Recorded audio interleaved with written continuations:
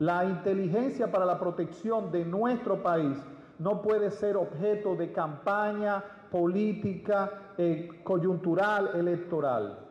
Y lo que él hizo fue una exhibición, como estamos ya acostumbrados a verlo, de acciones que más bien debieran ser de bajo perfil para garantizar realmente la efectividad si se necesita en algún momento la protección militar, la acción militar en la protección de la frontera.